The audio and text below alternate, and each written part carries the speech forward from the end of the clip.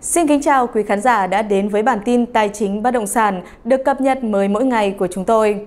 Bản tin ngày hôm nay sẽ có những thông tin đáng chú ý sau đây.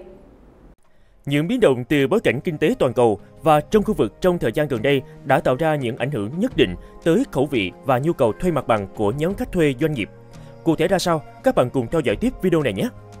Theo Saview Việt Nam, bất chấp sự phát triển mạnh mẽ trong đại dịch và trong năm 2022, các công ty công nghệ thông tin trên khắp Đông Nam Á, đặc biệt là các công ty khởi nghiệp công nghệ, đang tăng trưởng chậm lại sau thời kỳ tăng trưởng nóng. Tại Hà Nội, một số doanh nghiệp công nghệ thông tin đã buộc phải thu nhỏ diện tích thuê hoặc thậm chí trả lại mặt bằng trước thời hạn. Xét về 6 tháng đầu năm 2022, tổng lượng giao dịch trong phân khúc văn phòng cho thuê được dẫn đầu với lĩnh vực công nghệ thông tin. Tuy nhiên, trong giai đoạn 6 tháng đầu năm 2022, con số này giảm chỉ còn một nửa. Số liệu trong nghiên cứu tiếp tục cho biết, dẫn đầu tổng giao dịch đang là các công ty thuộc phân khúc sản xuất. Theo sau sản xuất là mảng giáo dục như các trung tâm đào tạo ngoại ngữ, tinh học hay các văn phòng của các trường đại học. Đánh giá về triển vọng thị trường văn phòng Hà Nội trong thời gian tới, bà Hoàng Nguyệt Minh, giám đốc cấp cao bộ phận cho thuê thương mại Seville Hà Nội nhận định, trong vòng 6 tháng tới, thị trường văn phòng sẽ có khả năng khôi phục rất nhanh, giá thuê và công suất thuê trung bình sẽ tăng lên. Các doanh nghiệp trong ngành sản xuất, giáo dục và các công ty tư vẫn tiếp tục gia tăng nguồn cầu văn phòng. Đây sẽ là động lực chính thức thúc đẩy sự phát triển của thị trường văn phòng Hà Nội trong 6 tháng cuối năm cũng như nửa đầu năm 2024. Theo bà Nguyệt Minh, những biến động từ bối cảnh kinh tế toàn cầu và trong khu vực thời gian gần đây đã tạo ra những ảnh hưởng nhất định tới khẩu vị và nhu cầu thuê mặt bằng của nhóm khách thuê doanh nghiệp. Theo đó, ba yếu tố chính đang ảnh hưởng tới quyết định thuê mặt bằng của doanh nghiệp trong tương lai tới. Thứ nhất, khách thuê có xu hướng ưa chuộng các giao dịch với giá thuê khiêm tốn hơn và thận trọng khi đưa ra các quyết định trong trung hạn. Đối mặt với áp lực từ những ảnh hưởng của biến động kinh tế toàn cầu, nhiều doanh nghiệp đang có xu hướng tăng trưởng chậm lại. Các quỹ cũng dừng đầu tư và các công ty startup.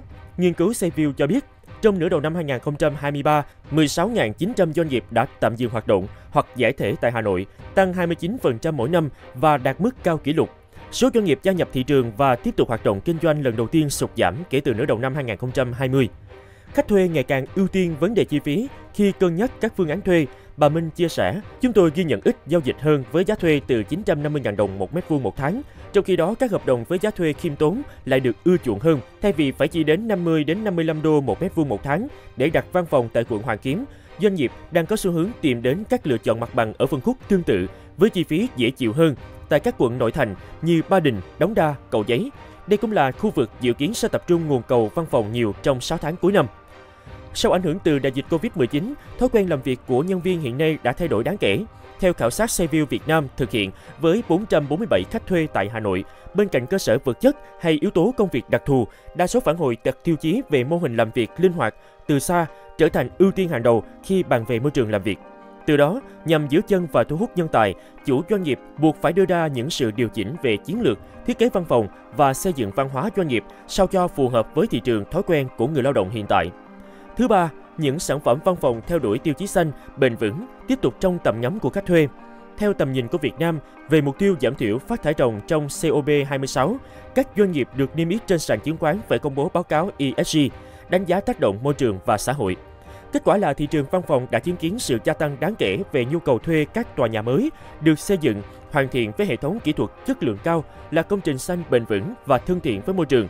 Theo báo cáo mới nhất của Seville Impact 2023, trong lĩnh vực văn phòng, nhu cầu về các dự án chất lượng đã tạo sự phân cách rõ rệt trên thị trường. Khách thuê sẵn lòng trả thêm tiền để không gian thuê văn phòng xanh và bền vững. Bà Nguyệt Minh cho biết, việc xanh hóa các tòa nhà văn phòng gần như đã trở thành yêu cầu thiết yếu. Làm việc tại những dự án này, doanh nghiệp sẽ tối ưu chi phí vận hành, tiết kiệm năng lượng tiêu thụ, đồng thời mang đến không gian làm việc, đề cao sức khỏe thể chất, tinh thần và thúc đẩy sự hợp tác giữa nhân viên.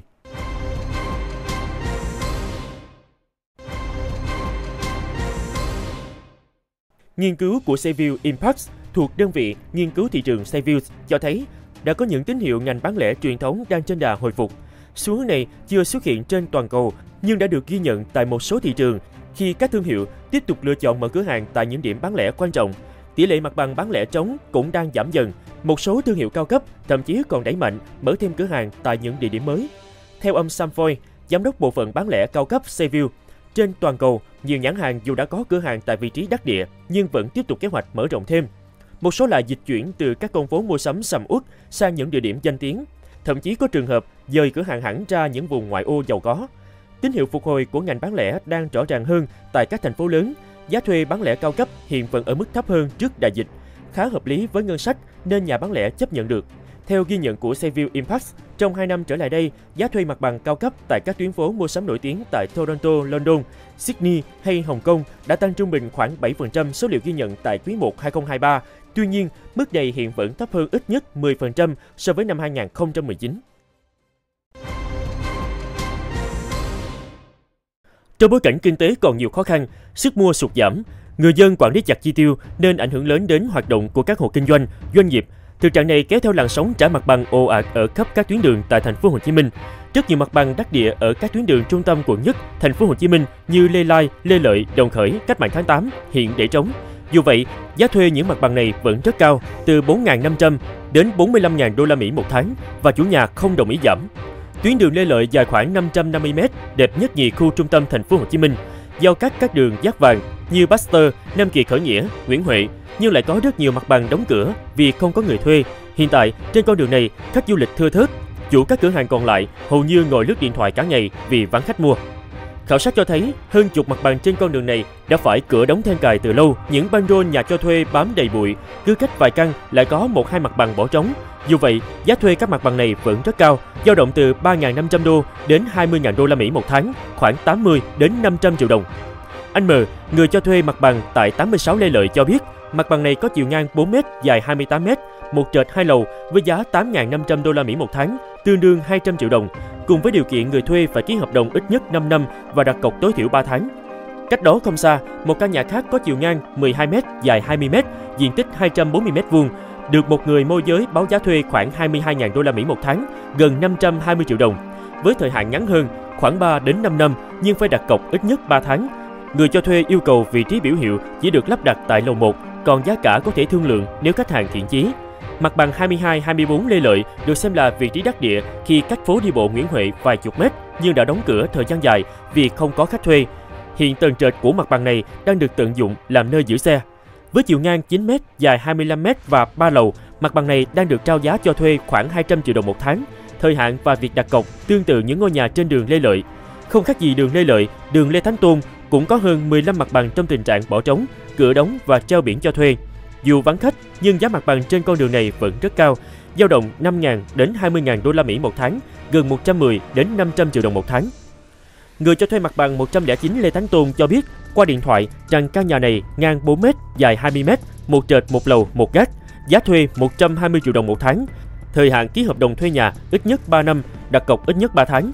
Giá cả có thể thương lượng nhưng chỉ giảm khoảng 5 đến 10 triệu đồng. Nhiều mặt bằng trên đường Đồng Khởi cũng tương tự, dù tuyến đường này gần các trung tâm thương mại, khách sạn 5 sao và nơi vui chơi của người dân du khách, nhưng hơn 10 mặt bằng đang dán chi chít bản cho thuê. Một người kinh doanh quán nước lâu năm trên đường Đồng Khởi cho biết, hầu như các mặt bằng ở đây đã được trả lại từ lâu, đến giờ vẫn không có ai thuê vì giá khá cao. Nhiều người dù đến xem mặt bằng, nhưng khi tính toán lại chi phí, họ đàm phán với chủ nhà nhưng không thành. Bên cạnh đó, trên các tuyến đường như Hai Bà Trưng, Nguyễn Huệ, Lý Tự Trọng cũng nhan nhản các bản cho thuê mặt bằng, chỉ tính riêng khu vực xung quanh phố đi bộ Nguyễn Huệ và chợ Bến Thành đã có hàng chục mặt bằng đang treo biển cho thuê, nhiều căn nhà sẵn sàng cho thuê hoặc bán luôn nếu có người mua. Tại sao dù vắng khách thuê nhưng chủ nhà vẫn quyết không giảm giá? Một người môi giới ở thành phố Hồ Chí Minh lý giải, chủ những mặt bằng này hầu hết là người có điều kiện, họ đã thức thu hơn 2 năm đại dịch Covid-19, giờ còn bỏ trống thêm vài tháng nữa cũng không ảnh hưởng gì. Thời gian tới, khi kinh tế phục hồi, sẽ có vài khách chấp nhận mức giá thuê mà chủ nhà đưa ra, thậm chí còn cao hơn bây giờ. Thông tin vừa rồi cũng đã khép lại bản tin ngày hôm nay. Để không bỏ lỡ những thông tin mới nhất về tài chính bất động sản, quý khán giả đừng quên nhấn nút đăng ký kênh và nhấn vào biểu tượng chuông. Chúng tôi rất mong nhận được sự ủng hộ và đồng hành của quý vị. Xin chào và hẹn gặp lại trong những chương trình lần sau.